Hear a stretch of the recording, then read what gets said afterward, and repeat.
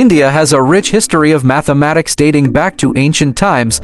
The contributions of ancient Indian mathematicians are still relevant today and have had a significant impact on modern mathematics. One of the most significant contributions of ancient Indian mathematicians was the development of the decimal system. The mathematician Pingala developed a system of binary numbers, which were later expanded upon by Indian mathematicians to develop the decimal system. In addition to the development of the decimal system, ancient Indian mathematicians made important contributions to the fields of algebra, geometry, and trigonometry. The Indian mathematician Bhaskara is known for his work on algebraic equations and his development of a method for solving quadratic equations. The mathematician Madhava is known for his work on trigonometry and his development of the concept of infinite series.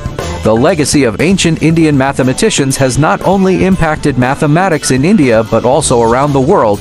Today, mathematicians around the globe continue to study the works of ancient Indian mathematicians and build on their contributions.